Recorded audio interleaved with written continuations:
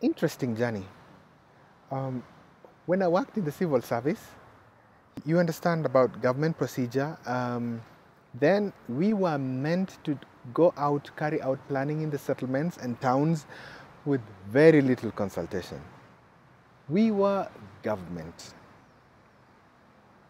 all powerful, all knowledgeable. Of course, we were knowledgeable and powerful, but really, um, piece of humbling experience.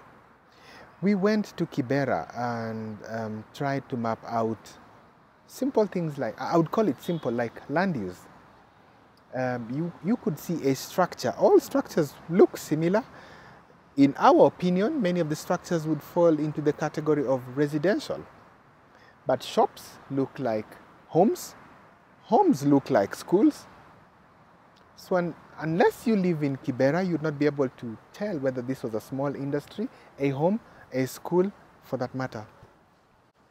We came up with very good plans, etc., etc., but to our surprise, the people did not take up the plans. Until I changed, I, I changed um, locations, work locations, and came over to the university where we embraced a different way of working. Thanks to the relationship that we had cultivated with Muungano earlier on. We now see, view working slums, working people settlements using a very different approach. We leave our hearts as professionals, engineers, planners, architects outside the settlement. Sit with the people and assume different roles. A role of trying to understand the settlements better, but driven by the communities themselves. Of course, the communities live there, have invested there, know each and every corner. Again, to many professionals, that is not palatable.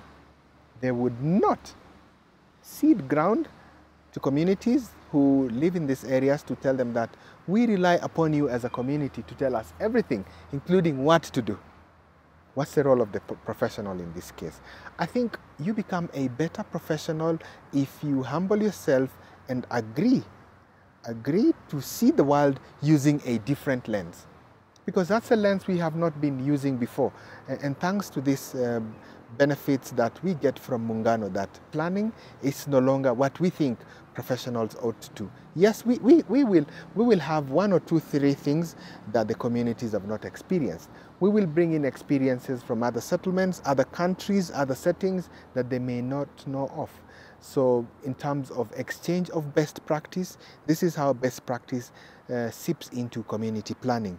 And from the communities, they will give us their own lived experience of the settlements. I, I think those two worlds can now begin to real carry out real, real, real planning in the settlements. If we shared our professional approach and they shared their um, their point of ignorance. I, I, don't believe that. I believe communities are very strong in the sense that uh, they live, invest, understand the settlements better than us.